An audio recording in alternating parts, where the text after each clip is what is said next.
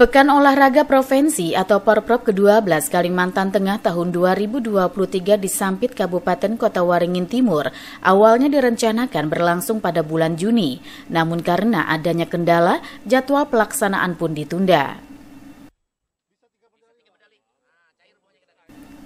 Terkait kepastian jadwal pelaksanaan Porprov Kalimantan Tengah, Bupati Kota Waringin Timur, Halikinur telah melakukan koordinasi dan komunikasi dengan Gubernur Kalimantan Tengah Sugianto Sabran.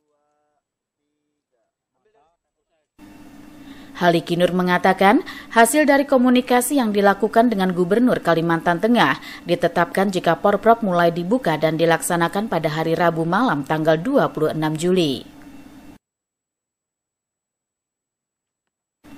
Dengan berbagai persiapan yang telah dilakukan, Kota Waringin Timur dapat sukses menjadi tuan rumah dan berhasil meraih juara umum. Terkait lokasi pembukaan Porprov Kalimantan Tengah, masih akan dibahas untuk mempertimbangkan berbagai aspek yang ada. Namun kemungkinan pembukaan Porprov Kalimantan Tengah di Kota Waringin Timur akan dilaksanakan di lapangan Stadion 29 November Sampit.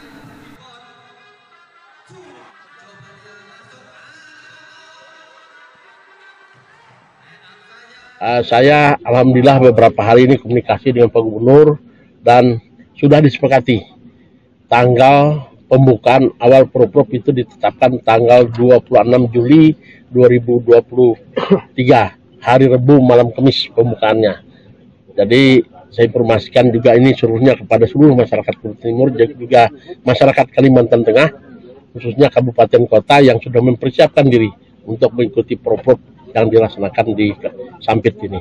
Jadi mudah-mudahan penyelenggaraan Propop ini berjalan aman, lancar, kondusif, meriah, dan menghasilkan prestasi yang luar biasa nantinya. Sehingga itu membawa juga nanti nama Kalimantan Tengah ke ajang nasional. Lokasi pembukaan ini masih akan kita bahas, tapi ada ada rencananya itu di Stadion 29 November. Tapi nanti tentunya kita akan pertimbangkan dengan segala macam aspeknya dan insya Allah nanti hari Rebu uh, panitia provinsi khususnya dari pemerintah provinsi Kalimantan Tengah dan ini Pak Sekda dan jajaran itu akan kesampit kita akan rapat persiapan-persiapan program ini.